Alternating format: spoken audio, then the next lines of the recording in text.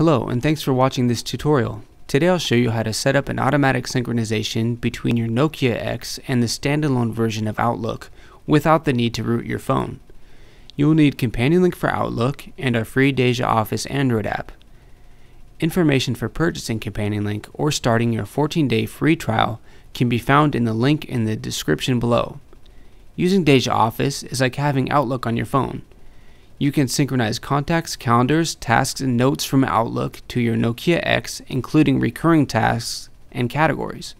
Your Outlook contacts and calendar will appear in both DejaOffice and your native Nokia X contacts and calendar app and will synchronize in both directions.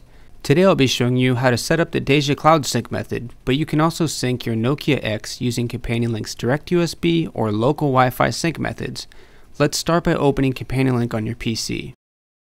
First click the Settings button. In the From section, make sure Microsoft Outlook is selected. In the With section, select Android as the device and Sync via Deja Cloud as the sync method. Next, click the Settings button. If you don't have a Deja Cloud account, you can create one for free by following this blue link. Next, enter your Deja Cloud email address and password and click OK.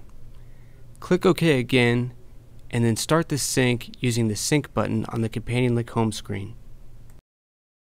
You're now ready to install DejaOffice.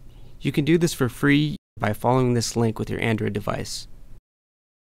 Now open DejaOffice on your Android device and tap Next in the Setup Wizard. Then select Deja Cloud as the sync method and tap Next again. Now enter the same Deja Cloud email address and password you entered in CompanionLink and tap Next. Finally, tap Done to finish the setup. You're now ready to start the sync by tapping Sync on the DejaOffice home screen.